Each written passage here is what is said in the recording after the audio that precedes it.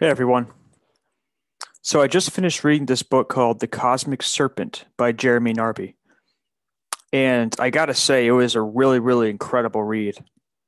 I felt it was so good that I want to make a video kind of giving a brief overview of, of what is contained within those pages of that book, as well as some of the realizations that I've had and some of the understandings that I've come to through reading this book. Uh, essentially, this book is about DNA and the origins of knowledge and it goes into um, a lot of into ayahuasca and how in the Amazon uh, ayahuasca is used to tap basically tap into one's own DNA, and that's the reason why if you hear of people that have done ayahuasca properly, um, they a lot of people see snakes. They see fluorescent snakes or they hallucinate snakes, and what these snakes are. People say that's Mother Ayahuasca. She comes in the form of snakes.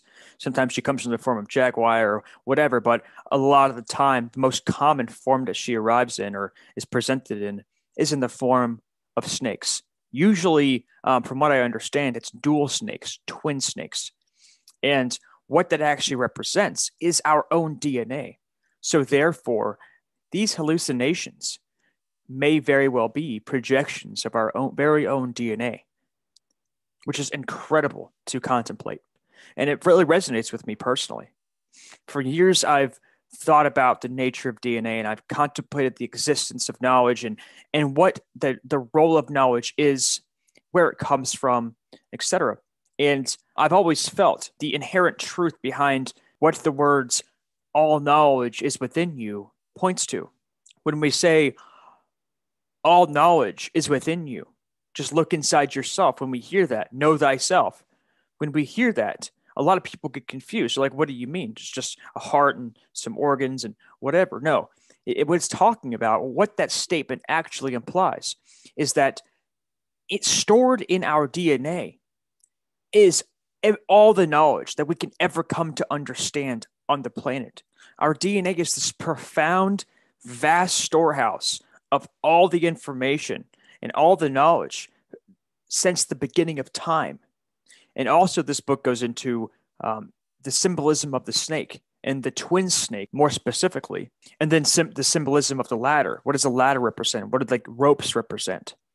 And the, when you see symbolism of the dual snake, like on the caduceus and things like that, what this actually points to is our DNA and it might have other implications. It might point to other other things but one of the most important and prominent um, aspects that that these symbols point to these double snake symbols point to is our own dna and so what this led me to uh, contemplate or what struck me as i was reading this is the fact that in society in mainstream society we have been programmed to fear snake symbolism, to fear the snake in general, what what a snake is and what it represents, something deadly, something venomous, something something um, evil. You know, the Garden of Eden, this this this this satanic creature, and I think that that's completely by design.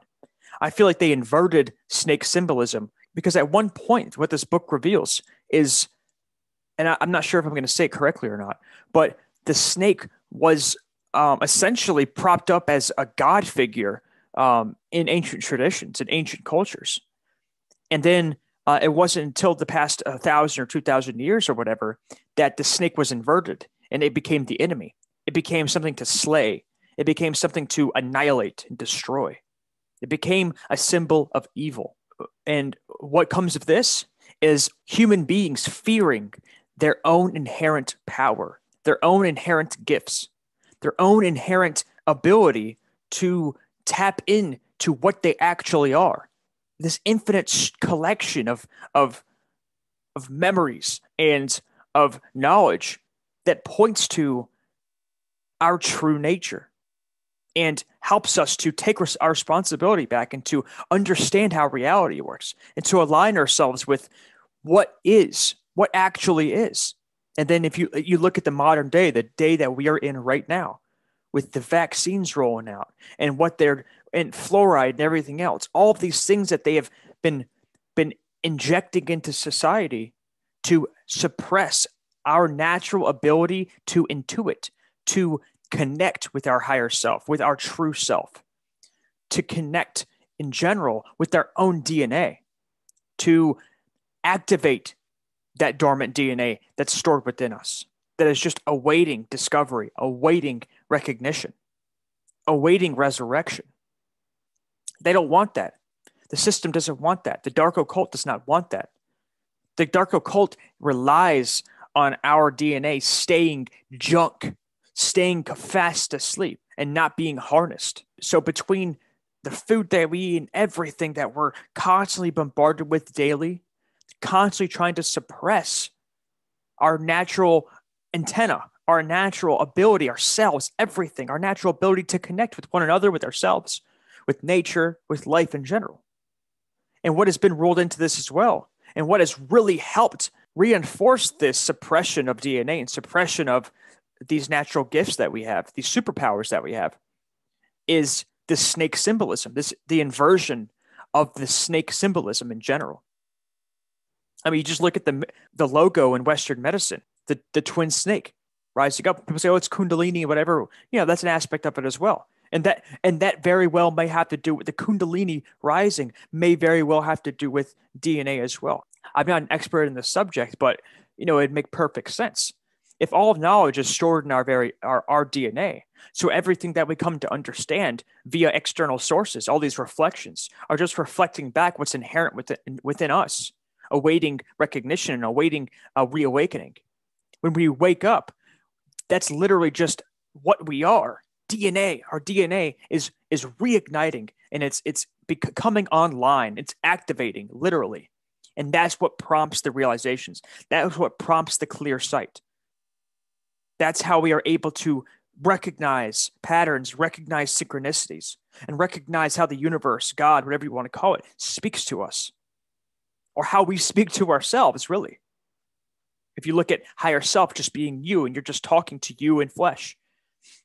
So, through this book, it's really helped deepen my understanding of the nature of DNA, the nature of knowledge, and quite frankly, the uses of ayahuasca and, and the use of plant medicine to raise our consciousness and and come to um, a more robust and more expanded awareness of of how reality works within and without. And I'm not implying, and the book is not implying that ayahuasca or uh, plant medicine in general are necessary um, or needed for that matter to activate our DNA, to activate that storehouse of knowledge. I don't feel like it is. Although I think that most of us are naturally drawn to these plant medicines, whether it be mushrooms, uh, LSD, ayahuasca, whatever it is. I feel like a lot of people are drawn to them and they do have these experiences, and it does help a lot, especially when you use it properly. But I'm not implying that it's necessary or it's needed. So I, I really highly recommend this book. Um, and I don't usually do, obviously, this is my first ever book review. I don't usually do them.